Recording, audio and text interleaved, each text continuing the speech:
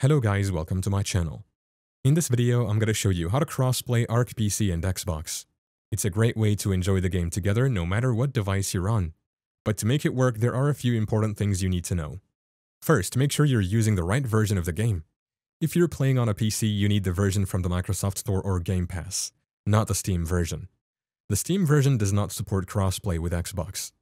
Once you have the Microsoft Store version installed on your PC, you're ready to play with your Xbox friends.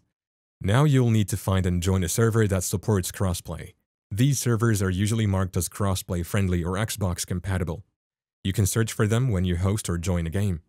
After joining a crossplay server, you can invite your Xbox friends to play with you. You can do this by using the in-game friends system or by sending an invite through your Xbox account. And that's it, now you know how to crossplay Ark between PC and Xbox in 2025. Just make sure you have the right version and choose a compatible server. Thank you for watching. If this video was helpful, please leave a like and subscribe to my channel for more videos like this, and click on that notification bell to never miss an update.